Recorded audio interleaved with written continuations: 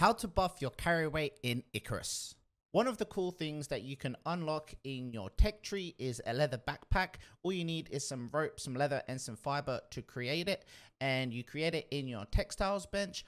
What it gives you is it gives you five plus kilos of weight capacity, six plus suit inventory slots, and a minus 10% carry rate for ore. So you can actually carry more ores when you're out there adventuring and trying to collect materials. So it's a really, really helpful thing in the tech tree. Go ahead, make it, and you'll be very, very happy.